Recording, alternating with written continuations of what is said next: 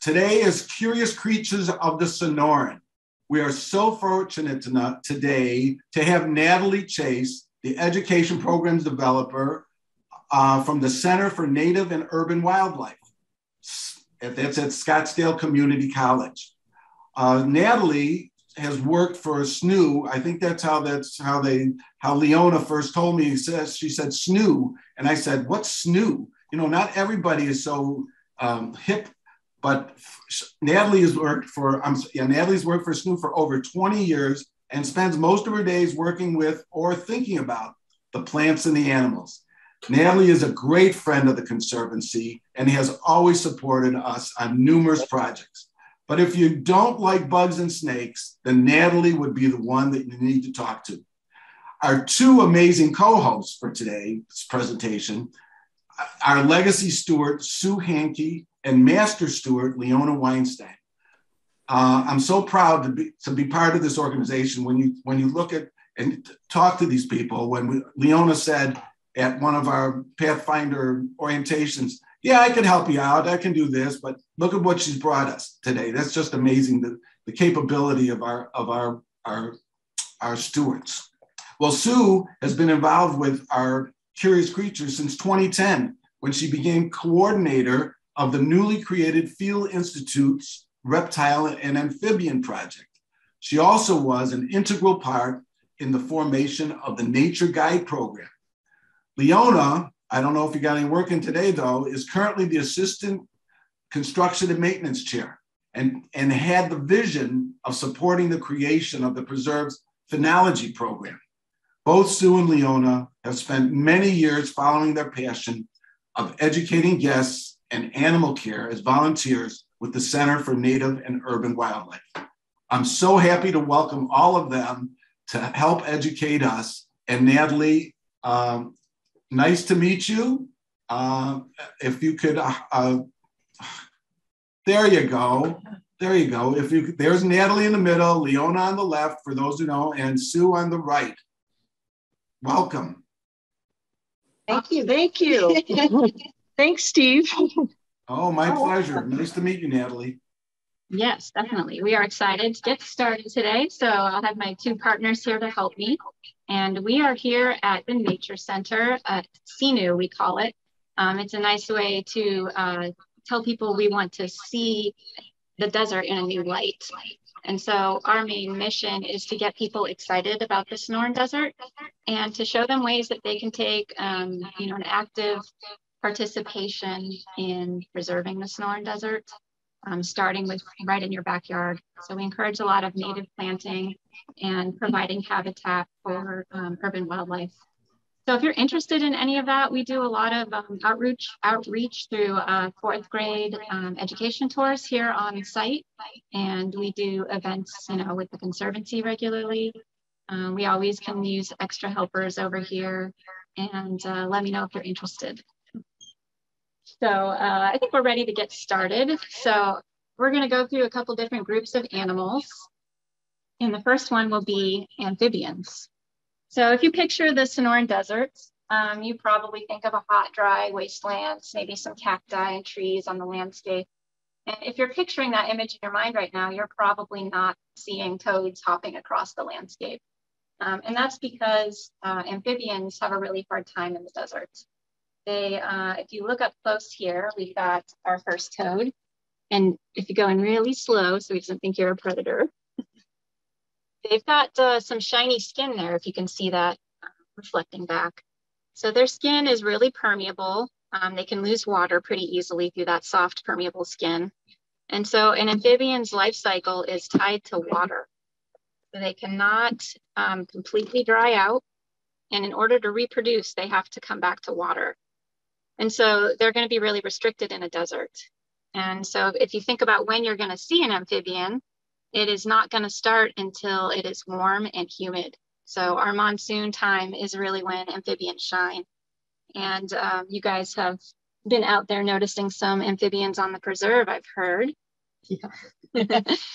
We have we have a um, amphibian uh, survey going on right now, and you can participate. We've moved from the night to the early morning time, So uh, the sign up, there's still some sign-ups left and it's on Better Impact under amphibians. And we'd love to have you join us during one of our outings. Great. So you guys might see um, some of the species we're showcasing today. You have about four species that we've found so far on the preserve. And this first one that we're looking at is called the Sonoran Desert Toad. So this is our little male. And just to kind of give you uh, some scale about how big he is next to a hand, um, the female is back over here. Uh, the Sonoran Desert Toad is the largest toad in North America. And they are also the most toxic toad in North America. So a lot of the problems people have here in uh, Phoenix is these toads will live in your backyard. And if you have a dog, um, dogs often will get in there and uh, play with the toads. And if you see right here, this little sausage shaped structure um, is the parotoid gland. And that is where um, the toad manufactures its poison. And if a dog were to come in, you know, and, and try to bite him and mouth on him, you know, the toad will get all upset. He'll try to run away like that. But if the dog gets it, um, a white milky substance will start to ooze out of those glands. And you might see on the leg, there's some other small structures that are glands. Um, and once that goes into the mouth, it gets into the bloodstream pretty quickly and it can cause a dog to go into shock um, or even die. So um, if, that happens, you know, if you can try to get um, your dog to a hose and hose its mouth out and call poison control, um, you know, it's not certain death, but it definitely needs medical treatment. Um, so these guys are uh, usually active. They're the first toad I see in the year. Sometimes around May, I'll start seeing them before it even gets very humid. So they're a little bit more tolerant of coming out um, when it's less humid. Um, but they they hop around at night when it's cool and the sun doesn't burn their skin, and they get a little bit more humidity. Um, and they will look around for bugs to eat. Let's see if uh, anybody wants to eat. Um, here at the center, we we raise the food for them. So they'll eat roaches and crickets and mealworms. And they're usually pretty happy to eat. oh, oh, he got dirt. He hates getting dirt in his mouth. I'm sorry. I've never seen such picky toads. no? There we go. Yay. So these are big toads. They have big appetites. Um, when you're the largest toad, you can eat the largest prey. And so they'll happily dine on bugs, but they've also been known to dine on um, small mammals like rodents or um, small reptiles. Anything that they can fit into their mouth is potential dinner. Other toads. Other toads even, yeah. And so one of the things we, we might notice patterns is that some of the smaller toads are going to be more active in the daytime instead of at nighttime when the big toads are out um, to avoid being eaten. Oh, and that's really cute. He's doing his toe twitch because he's excited to get more food. Oh, really? Yeah, see if you can kind of go in. Sure. Let's see if he's going to do it again. Oh, he might be done. The toe twitch is really cute. So yeah, if you guys can kind of, oh, there you go. Get a look at their eyes are beautiful. And uh, I, I mean, I know not everybody thinks toads are beautiful, but I think that these guys are pretty, pretty neat and they have neat personalities. So you can get to know your backyard toad if you're lucky enough to have one. All right, so we've got uh, a couple other species up here that you see on the preserve. This one is the red spotted toad. And you'll notice um, significantly smaller. Oh, got a little scared. Oh, sorry. And he's called the red spotted toad. We'll just take him out here. Because they have red spots on their body. So that's a pretty defining feature. Uh, none of the other toads look like quite like this, except for just to confuse us, the Sonoran desert toad, when it is very young and first uh, morphs out from a tadpole, it uh, has red spots on its back. So uh, you can learn to tell them apart, but it's a little confusing um, when toads are first metamorphosizing out. Yeah, so one thing you might notice is that the parotoid glands on the red spot are shaped a little differently. So they're kind of round and reddish. And that's a good way to tell which toad you're looking at because if you remember the Sonoran Desert toad's glands were long sausage kind of shaped. Um, so that's a really easy way to define these guys. Also, if you're looking at eggs or tadpoles in little ponds, um, the red spot toad is the only toad that lays single eggs most of the time toads lay eggs in big strings or clusters. So it's pretty easy to tell if you're looking at red spot toad eggs um, in a pond. And these guys, you know, they're a little more flattened um, in their shape. So they might be found in more like um, rocky canyons or riparian areas where there's little crevices to hide in. Um, and they are also mostly active when it's warm and humid. So this is their time to breathe and eat. And then our final guest is the Couch's spadefoot toad. And just, uh, just as I'd expect, um, he has disappeared. but don't worry, he's not gone. He has just uh, buried. Actually, this one looks like it's a girl. And a very dirty mess here. All right, there you go. So the female spadefoot toads have a lot of pretty mottling. Um, and if we had washed her off, you would see that she's bright yellow with some black mottling spots on her. And you might notice how different the eyes are. Um, so you get a better yeah. shot. Sorry. You want me to hold it over here? Yeah. So the eyes are more cat-like. And um, a neat thing about spadefoot toads is they are in a completely different family than all the other toads we've looked at so far. Um, so some people say they're not a true toad because they're not in um, the bufo family. Uh, but these guys are just slightly different because you'll notice cat-like eye pupils there and also notice there's no parotoid gland. So these guys do have some skin. Oh, you got to hear a little squeak. So that's a release call because she's not enjoying this moment. like, uh, and that just means put me down. Um, so after I um, handle this spadefoot toad, um, it would be wise for me to go wash my hands because the skin has a lot of secretions. Um, amphibians in general have a lot of interesting secretions in their skin that um, help keep infections at bay. So they have antibiotics and all sorts of interesting compounds, as well as some irritants that could get into your eyes and uh, be troublesome. So it's always good to wash your hands after handling amphibians. Um, they also have a tendency to pee on you as a defense mechanism. So uh, expect that if you're ever going to pick up a toad, maybe if you want to move it out of the road. Um, unfortunately, especially our Sonoran desert toad um, really likes to. Does he have a spade? Um, yeah, really likes to sit on the road at night to bask, and they tend to get hit by oh, cars oh, that do? way. Yeah. And then why are they called spadefoot toads? Uh, can you see that little blackened dark spot here on the toe? Right? It's there, yeah. So that is the spade. And that is like a hardened part of the foot. It's made out of keratin. So the same thing as our hair and fingernails. And that's just kind of a structure that acts like a little shovel to help dig into the soil so that they can get out of the sunlight um, and into a cool, dark spot. And maybe he's out. Okay. The one guy, he jumped out. yeah, we always want to put lids back on.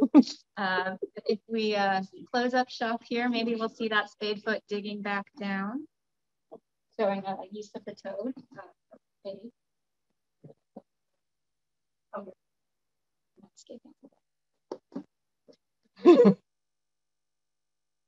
She'll be right back. She's just washing her hands.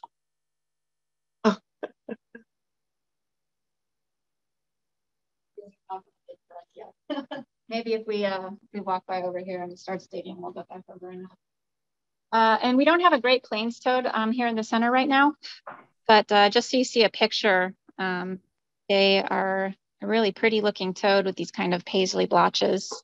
Um, and they are also out at night at these um, tanks of water, breeding and eating and doing their toady things. And you might notice it's interesting that they have a spade too even though they're not related closely to spadefoots. So that has evolved a couple times in codes. Okay, so that was just a quick survey of amphibians. If you want to see an amphibian, it's probably going to be when the weather is really nice in the morning or towards the evenings when it's humid and they're out looking for a place to breed and eat. Um, but they'll always be breeding in water, laying their eggs. Oh, another really cool thing about the spadefoot toad is um, the, the time that water stays around in the desert is really limited. So those pools are going to shrink and shrink and shrink a little every day until it dries up completely.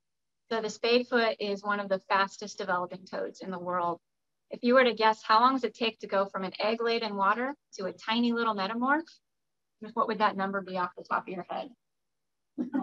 you would think maybe it'd take a long time, right? Yeah. Spade foots can do it in eight days.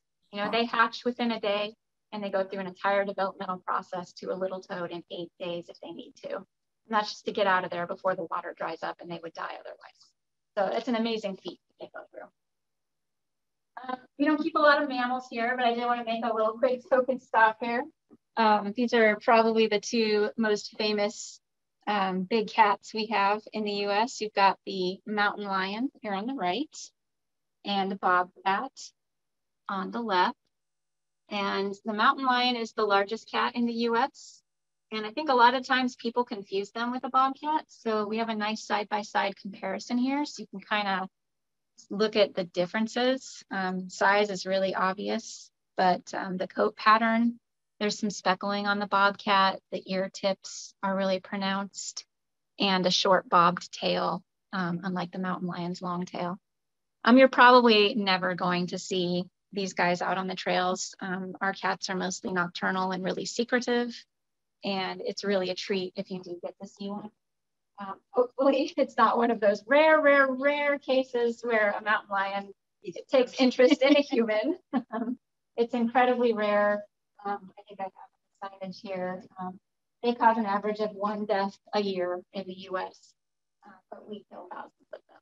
So I think you're probably safe, but always, always, you know, watch your back when you're out on the trail and there's trees around.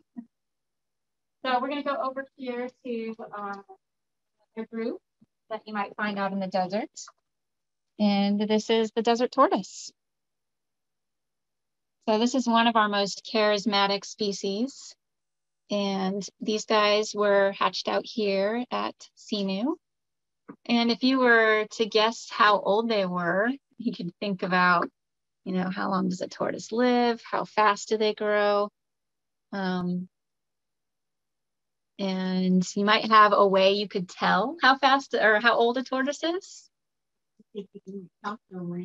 Maybe the, count these things? Yeah, so that's a, a, lot of the times people will think you can count the rings on a tortoise shell.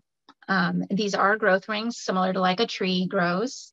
And you can roughly count the rings on a tortoise shell for growth. So I know exactly how old these guys are. They are just about to turn five next month. Okay, so when tortoise hatches, it only has one scute. These are called scutes, um, one scute per area. And so this was the hatched scute when it was first hatched out. So this would be one growth ring. You can tell they grew a lot that year because it's so wide. Um, one, uh, maybe that's two, kind of gets a little tricky. And then they started growing a little slower, three, four, mm,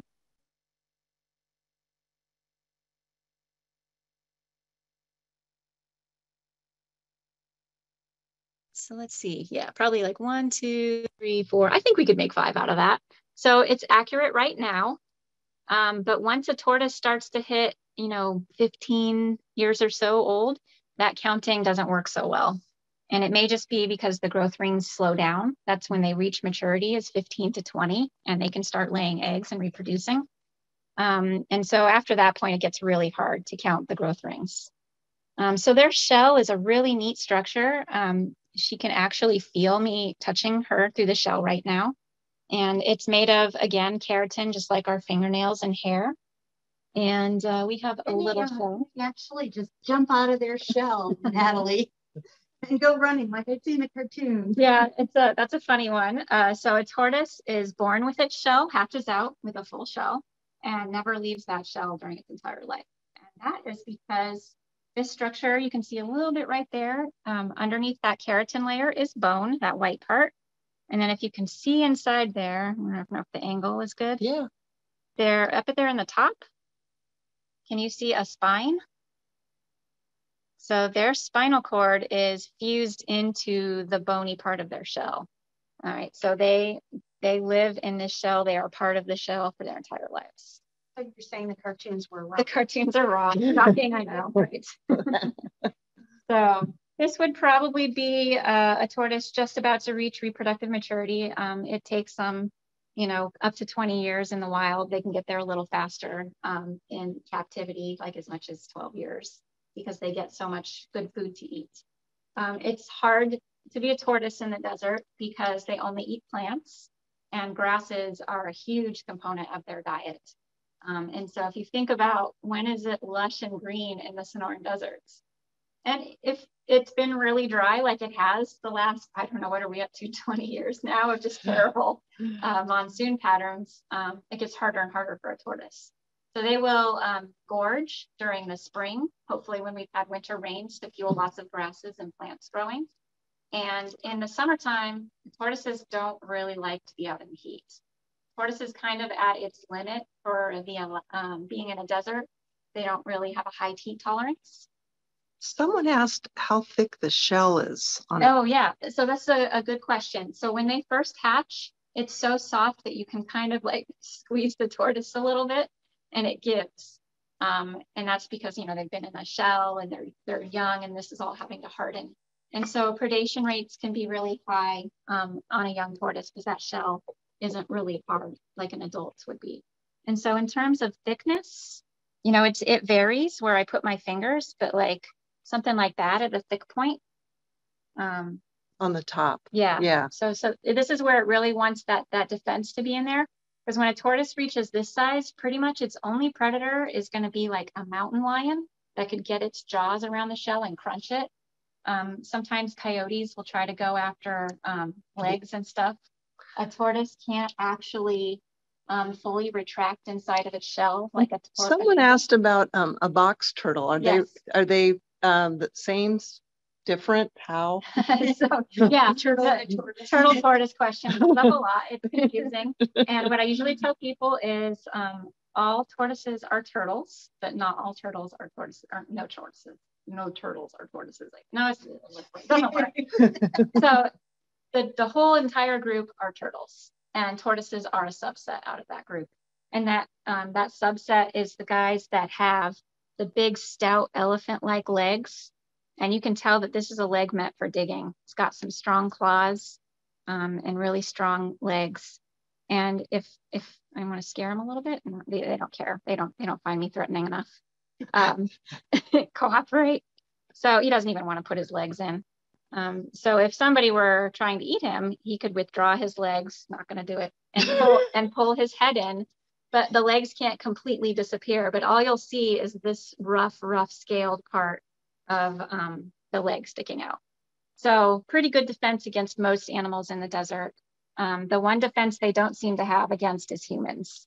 And so if there are vehicles driving in the desert, um, you know, that's a really high risk for tortoises, off-roading vehicles, things like that. Um, you know, and we're, we're just changing their habitat a lot. So if we're, you know, cutting off their habitat and they need big migratory corridors, you know, as they go around um, their summer and their winter patterns, you know, cutting those off can really affect tortoises. So uh, picking them up. Uh, yeah. And so this guy was hatched here and, you know, we have a permit to keep them because they are protected by state law. It's a very special species um, and potentially um, leaning towards an endangered species. In um, California, it's an endangered species and they have now broken them up into three um, subspecies. So California has the Mojave Desert Tortoise. Um, we have the Sonoran Desert Tortoise. And then there's a third type that's in Mexico. Um, and so each of those will probably end up with protection. Someone asked about the urination if they're picked up. Yes. And so I keep looking down because I'm like, what's going to happen? so oftentimes tortoises aren't meant to leave the ground and fly through the air. And so it might be a little upsetting for them. And so if they're if they're leaving the ground, it's probably because a predator is is trying to dig them up and eat them. And so for whatever reason, a tortoise's defense, other than its shell, is to pee. And so um, that's a really big problem for a tortoise because they store their reserve water in their bladder. As much as 40% of their body weight can be water stored in the bladder. And they can pull on that water through the long, hot, dry summer and use that. Uh, so if you've upset a tortoise enough to make it pee, A, you should never pick up a wild tortoise because it's against the law. But B, for biological reasons, they may void their bladder on you and um, not have that reserve anymore. And we know that we can go three, four, five months without it raining. And that's really the only chance they have to refill their bladder. So we never want to pick up a wild tortoise unless it's in an incredibly dangerous situation, like it's on a busy road. And at that point, I would gently and slowly intervene. Um, but you're not really going to see desert tortoises out in the wild because they're really only active a little window during the spring, maybe two weeks out of the entire year, um, they might be active. And that's just because they don't like the hot, dry weather. And they're going to come up, eat, and then be back in bed by the time the sun is getting hot. Um, but the burrows that they live in are so important because um, there aren't a lot of animals that have those big digging legs that can make deep burrows. So we call them a keystone species because they are so key and instrumental in providing shelter for other animals in the desert that use those burrows, whether the tortoise is in them or not. Sometimes you find weird bedfellows and tortoise um, burrows like a Gila monster. We've seen rattlesnakes. rattlesnakes, yeah. yeah. None of them seem to care. They're just all in there to get out of the heat. Um, but that's a really important service that they provide in the desert, and that's why they're such an important species. Um, oh, and we'll, let's go take a quick peek at another tortoise that we have here. and this little one um, came to us recently. Oh, really small. Yeah. And this one is um, a fresh hatchling. So just to oh. get a get a side by side comparison of how small she is, and you can see one scute, no growth rings, and that's about how small they are when they hatch out. So very cool. She's got she's got 80 more years of life in her, hopefully. and that's about how long you expect them to live in captivity. In the wild, it might be closer to 50. All right, so, oh, since we're here, we'll take a peek at the next group we're gonna look at, the lizards. All right, so lizards and tortoises are reptiles versus the amphibians that we, we first talked about. Um, this is a tiger whiptail, uh, one of the most common whiptails out there. This is the only one that we've documented have, in the preserve. Okay, so you only have the tiger whiptail on the preserve. Um, and you can kind of see they've got some neat pattern um, on their back there. Very fast ground dwelling lizard that you might just see zip across the trail. Um, we also have over here the most common lizard that you'll see out on the preserve. Where is? He's right here having a little bask in the sun. Oh, and I'm gonna upset him a little bit, I think. Let's see. Oh, he's, he's tolerating it. Okay. So this is a side blotch lizard. I'm gonna try to, there we go. Show him your side. Okay, there we go. Not very.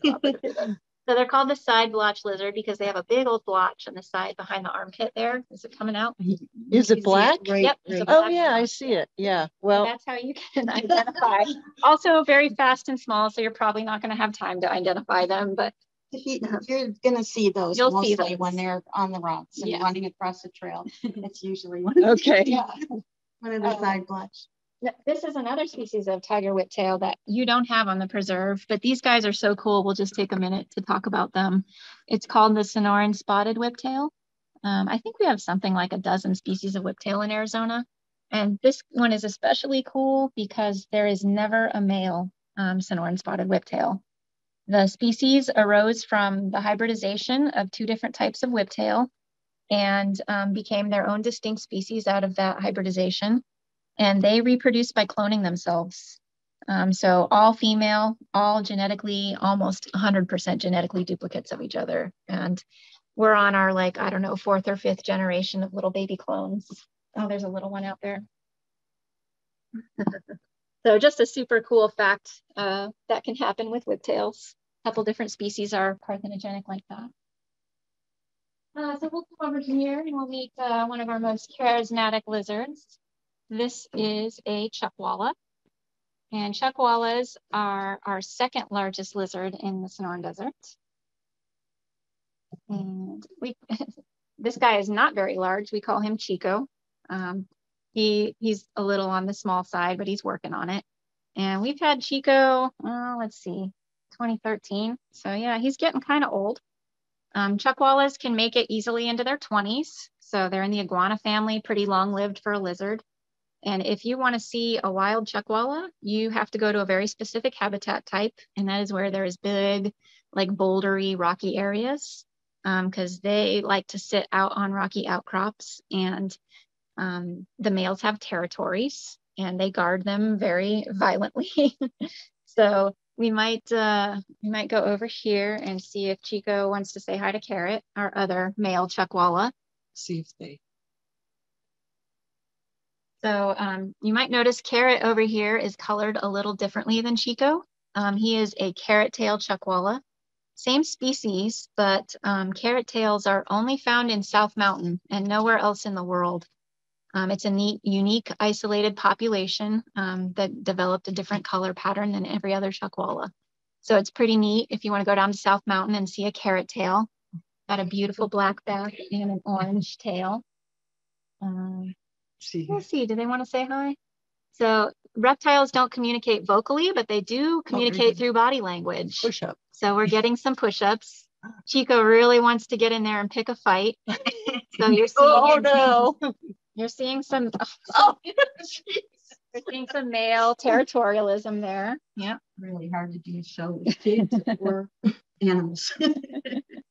And the push-ups are simply a way of communicating, this is my space, you better get out of here or there's gonna be a fight. And if Chico decides that the push-ups weren't enough of a warning, then they will actually go into a fight with biting and alligator death rolling to try to tear toes off. It's, it can be pretty violent. But the push-ups are like a way to hopefully avoid that. A lot of people say they see lizards out there doing push-ups on a rock yep. or on their fence. Yep. And so that that's a form of communication of like, this is my space. Um, you probably shouldn't come over here. I mean, it may mean more than that, but that's our main interpretation. I don't speak lizard, so. um, Natalie. I'm sorry, what? No, Natalie, we had a question about the chuckwallas uh, as far as their growth pattern. And now the, I see the two different sizes. Uh, is, is it correlated to in the wild to the amount of rainfall and plant growth? Yeah, so let's go ahead and talk about that because um, what he's going to eat after just getting into a fight. Um, chuckwallas eat vegetation. Um, they are an herbivore, um, and plants are all they eat. And so, oh, there we go. Chico's really excited for his salad today. Um, they love flowers, leafy greens. Um, they've got a lot of moisture um, in those materials. And so just like a tortoise, being a chuckwalla is really hard in the desert because if it doesn't rain, plants don't grow as lush, um, they, they don't flower, they don't leaf out. And so it can be harder to find food when it's dry. But when it's wet um, and we're getting a lot of rain, the plants grow really well and the chuckwallas eat really well. Um, so this year should be a really good year for chuckwallas.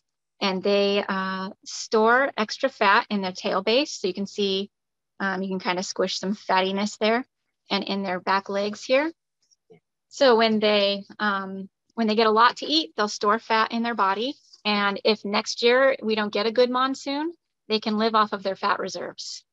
Um, so hopefully they get enough rain, you know, throughout the years to to keep some body mass on and grow.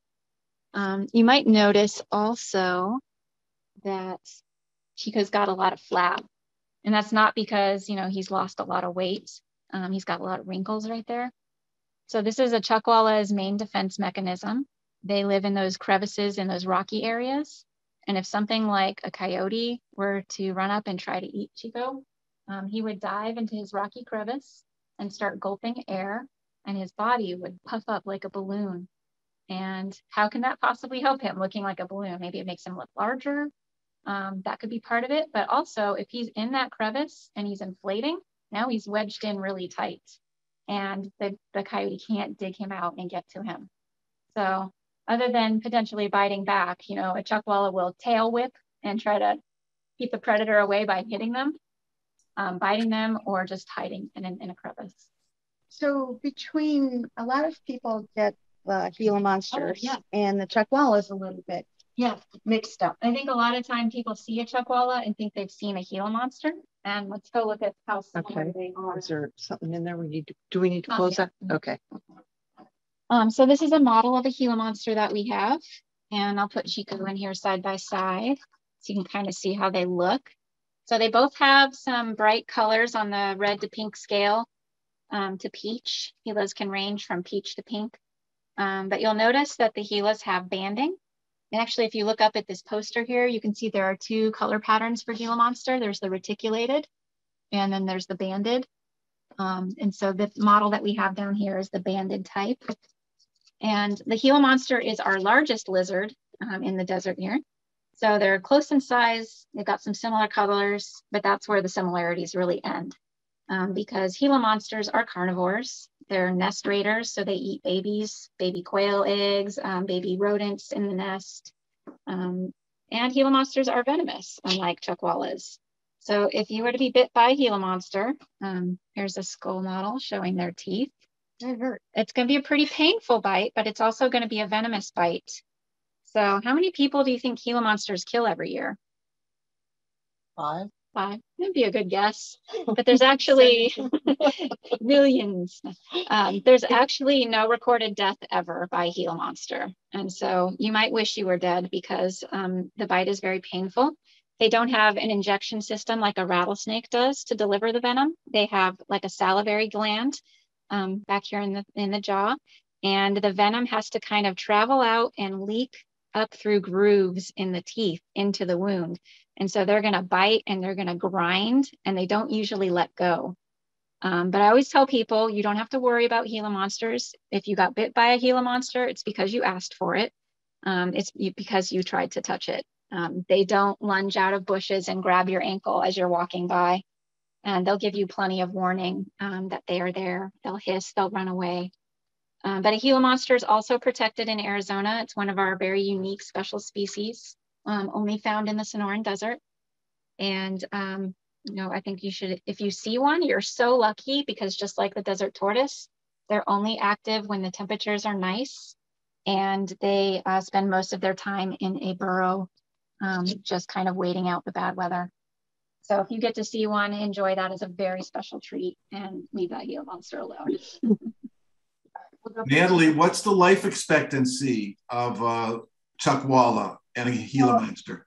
So the, as best we know, um, the chuckwallas can make it into their 20s or even longer if they're lucky.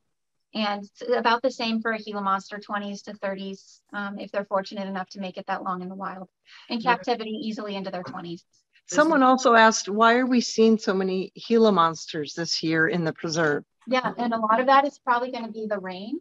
So a Gila monster's motivation for coming out of its burrow onto the surface is going to be to eat um, and to drink. Um, they store fat in their tails just like the chuckwalla does. And so if there's a lot of rain, there's a lot of plants, there's a lot of seeds, there's a lot of rodents, and that's one of the specialties that Gila monsters eat, um, and also quail, things like that. So they've got a lot of babies to go out there and vacuum up in that little window that they have to be surface active. So you'll see them a lot more. Nice weather and lots of rain. Okay. Uh, so if we have time, we'll make a pit stop over here in my favorite place, Bugland. So um, you guys might be surprised. Um, all the animals we've covered so far, that's kind of like what you think of when you think of a desert, right? Like snakes and lizards. Um, but most of our biodiversity in the Sonoran Desert and even in the world is bugs. Um, so some crazy number like 97% of all life on Earth is smaller than a human finger. And so the stuff that we really fixate on, you know, the cute, fuzzy, charismatic mammals, really isn't representative of all the life that we have out there. And bugs form, um, you know, really important relationships and do important services for us. So I always like to take a minute to stop and talk about them. And we'll look at this one right here. Okay. So this time of year when it's monsoony and cool at night, um, you oh, might see tarantulas crawling around.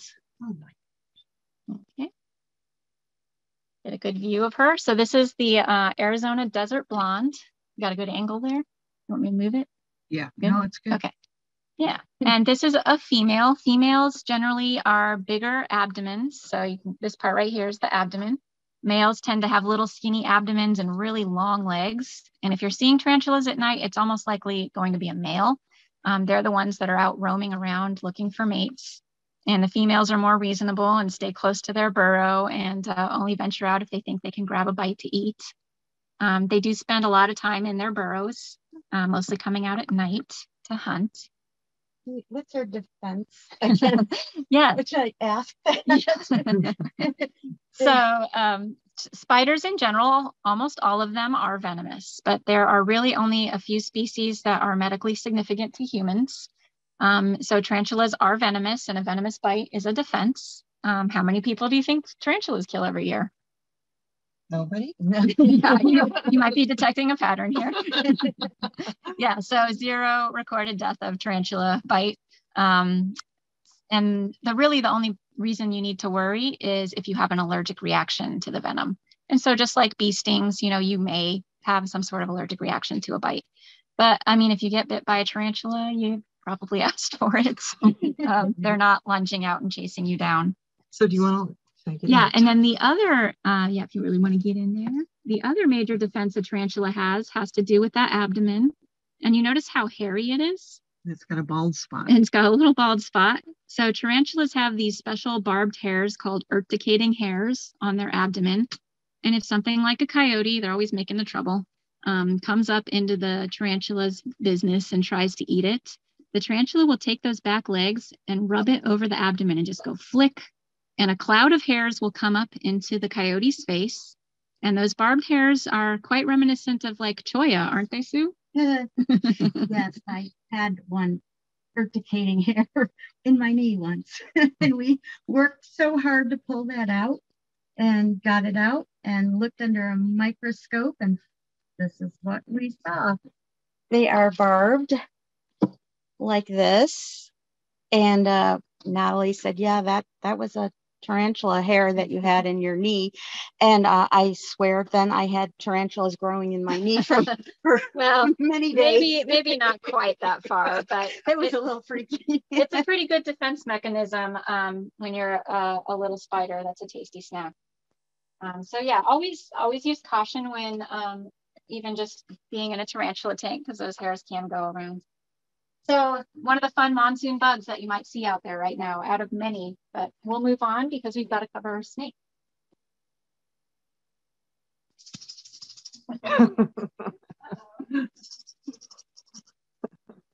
so sounds like we've got a noisy snake in this bag, maybe. Ooh. what you got in the bag, well, the most common snake that you're going to see on the preserve is probably the western diamondback, mm-hmm. right? Yes. That's the most common. Yeah. And here is one. no. so, so this is um, what he hopes you think is a diamondback rattlesnake, but is actually a gopher snake. Um, so this is Merlin. He's he's lived with us for quite a few years now, but he still doesn't like us. So, um, so he'll tolerate us for a little bit. But you can see the pattern of a gopher snake is roughly like a diamond.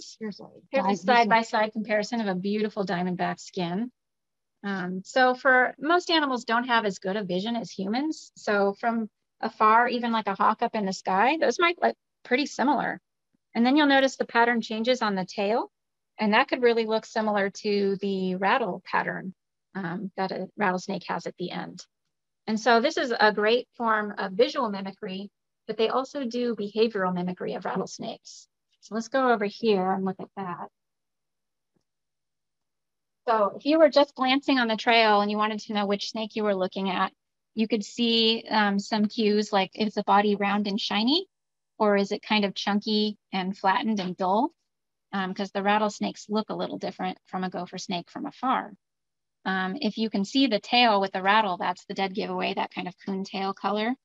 Um, but also look at the head shape. You know, uh, this gopher snake barely has a neck. Um, but if you look at a rattlesnake up close, you see they have a very triangular shaped head compared to the gopher snake. And that is because they have, um, they are pit vipers they have um, special organs in there that help them see at night in infrared. And the gophers aren't equipped with that kind of technology. So um, that's kind of some good indicators. The other things that help you tell the difference, I wouldn't recommend that you get close enough to see, you know, like the pits or the cat-like pupils. Um, so now that you're kind of familiar with the differences between a gopher and a rattlesnake, do you guys think you can tell which one this is? Give that a guess. Trying to get. I know that right up the glare. Mm-hmm. So you see that nice. I don't know. It kind of looks like nice triangular head. It looks like a rattlesnake. It's coiled, getting ready to strike. What well, this it? this is actually oh. just oh. a gopher snake. um, doing a masterful form of behavioral mimicry. So they will um, flatten their heads out. They can just kind of squish it and make it more triangular.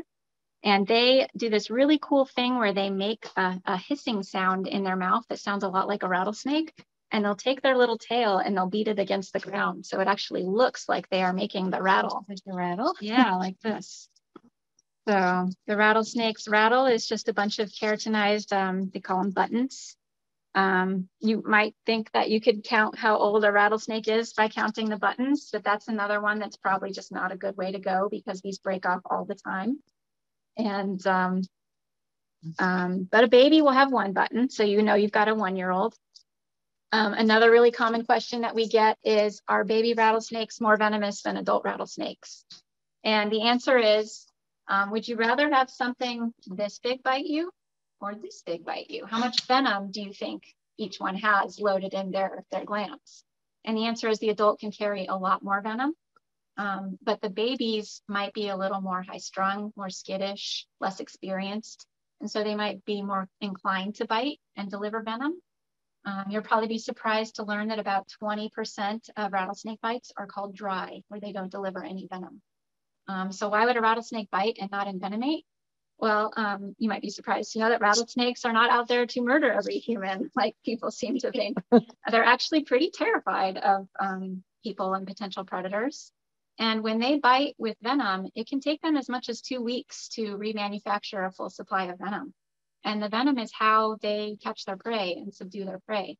So they do a really quick bite with venom, and then they stand back and they wait for their prey items um, to be affected by that venom to the point where they just kind of lay down and die. So it's really not worth it um, for them to be biting humans all the time. So um, we had another interesting question about garlic. Can you use garlic as a snake defense, um, a deterrent? And um, my thought is probably not, um, even though it's probably not a pleasant smell. I was just going to see how Merlin likes garlic. I think he might like Italian food. Oh, it's spelled. He's, he's oh it out. He doesn't seem to matter that um, he's sitting right next to a clove of garlic. So I would say there probably aren't a lot of gimmicks like that that you could use to deter rattlesnakes. Um, if you're really um, snake shy and you want to avoid any potential accidental bites, um, I would recommend getting a pair of gaiters, which are like a hard um, leg sheath that you can wear over your pants. And just be snake smart, which means don't put your hands in your feet where you can't see them. So go around bushes with a pretty good um, opening don't put your hands in rock crevices, you know, because they're sitting there minding their own business. We walk by probably hundreds of snakes every time we go hiking on a trail, and they sit there and mind their own business and want nothing to do with you. So accidents happen, but it's really rare. And less than 1% of rattlesnake bites end in death. Um, if you get to a medical facility quickly, you have pretty good chances and a much smaller pocketbook because treating a bite is very, very expensive to get the antivenom. So I think That's we're probably at about time. So what is the most dangerous? Oh, the most dangerous. Because you know you're talking about venom. Yeah. Uh, with venomous. Yeah, and, and venomous there's all these like, oh, how many people do they kill? Nobody. okay. well, let's let's pull out the most dangerous animal in the Sonoran Desert. Okay. I'm gonna. I got it in this box, so oh. I'm just gonna. I'm, I'm, gonna be a little nervous. I'm gonna stick my hand in here. Thanks, Leona. That was perfect. so it's it's a honeybee, um, or just the bees and the wasps and the ants in general. And that is, like I mentioned before, um, people can have allergic reactions to them. And it's just enough of a percentage of people that have that reaction to push those numbers up really high. And plus, we're having problems with things like Africanized bees, and they're overly aggressive, unnecessarily aggressive, I would say. And so if you're not even really close to a hive, they may come after you and sting you. Um, so you might be interested to learn that honeybees aren't even native to North America. We have lots, we have oh, over a thousand species of bee that are native to the Sonoran Desert. We're one of the hot spots in the world for bee diversity, um, but none of them are sting problems like the honeybee is. We have a lot of people talking about the swarms in the preserve. Mm -hmm. What should they do if they see a swarm? Yeah, I mean, swarms aren't dangerous. So the swarm is when a queen and part of the hive are breaking off and starting a new colony. And so they're not in defensive mode. Um, the reason honeybees sting is because they're guarding honey and they're guarding eggs and babies in their nest and the queen. And so when a swarm is mobile like that, they don't have those things to worry about so much. So you'll hear a big cloud of them come overhead. And I usually just kind of like sit and wait and enjoy it because it's really interesting to experience. Um, but it's when you're near a hive is when the danger level goes up. And at that point, I would just let everybody know there's a hive over here, avoid that area. Natalie, uh, recently in uh, just north of Tucson, we heard of uh, a bee attack. Are you familiar with that one? Uh, I hadn't, but it's really regular that it happens, unfortunately. Okay, but you there were the circumstances. no, I don't. But one person had died. Yeah. So unfortunately, it happens. Um, and there's not a whole lot we can do because honeybees are feral now in the environment. So Yeah. So you assume that it's a honeybee that would would uh, make yeah, rather than Yeah. an Africanized. uh, yeah. Our native bees are almost all solitary, meaning they don't form colonies. Um, there's no queen, there's no larvae, there's no honey. Um, they just have a female that mates with a male, and then um, would make um, a nest in a little crevice. Um, so something like this can provide homes for native bees. So you might see um, leaf cutter bees um, in your yard. Uh, I don't have a picture of that right now. Um, but they might, you might see a little bee carrying um, a little piece of flower or greenery and then going into like a little crevice, like your window crack or your patio furniture. That's one of our native leafcutter bees. And she just lays an egg, provisions it with pollen and nectar and leaves. And so it's so rare to be stung by a native bee that I won't even consider it a problem. So we always encourage people provide habitat for our native bees because they're amazing pollinators, they're not dangerous, and they're really neat and diverse creatures to watch. We had a we had a hive over in Brown's Ranch area on on a couple trails where they merged, where they weren't bothering anything, but they looked like they were digging in the ground. Their hive was in the ground. Um, I know John Parenti had taken the photos of the video of that. Uh, it seemed kind of unusual. Is that is that typical to see them in the ground? Uh, not necessarily. Usually they'll like rocky crevices where there's a little bit cooler temperatures and there's water nearby. It's Yeah. possible that they had found a crevice that was kind of low to the ground and they might have been excavating a little bit to get that opening. Um, but yeah, they, they're generally not ground nesters uh, in a honeybee. 90% or something like 75%, something like that, of our native bees are ground nesters though. So if you see one bee coming in and out of a hole, then that's probably our native bee. Yeah, yeah. We have quite a few uh, over the years in Browns Mountain where they do we do find the hives in the crevices. yeah, it's it's probably perfect conditions and they'll always be setting up shop there. Any Um, other questions? does anybody else have any questions? Open mic. I think you've been pretty thorough. It's been amazing. And uh, if there are no more questions, I didn't have any other previous questions. Uh, I just want to say you guys are amazing. Leona, your camera work was beyond spectacular. Um, Sue, thank you for all you do. And Natalie, can can people come into uh, Scottsdale Community College and CNU now that I know how CNU is? Um, Yeah. Can they come in for tours? Can we bring people for tours? How does that work? Yeah, time, times have been a little weird lately, as I'm sure you all know. Um, but I think that they have lifted enough of the restrictions on campus that we're calling ourselves open. And if you just want to email me ahead of time to make sure that we're here for visitors, we love, you know, bring your grandkids, bring visitors from out of state. Um, we keep these animals here as ambassadors to help people learn about how amazing Sonoran Desert biodiversity is. And if they're not meeting people, then they're not doing their jobs. So yeah, bring people. Great.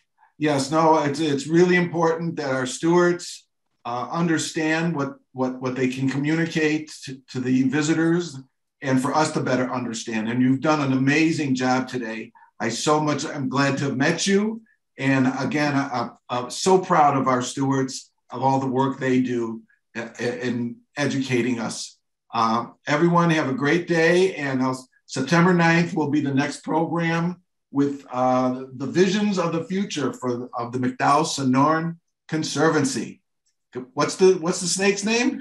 Merlin. Merlin. Merlin, the magician. Again, everybody, thank you the so King Arthur, the King Snake. So much. we're corny. Thanks, Natalie. I job. remember, I remember. Bye, these- Bye. Bye, Bye-bye. thank Where's- you. Where's Thank you. Leona? We want to see Leona. Oh, I'm right here. Hi.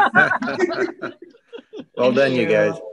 Excellent. Bye. Have a good one. Thanks, Natalie. My Everyone's everyone's Thank saying you. Bye.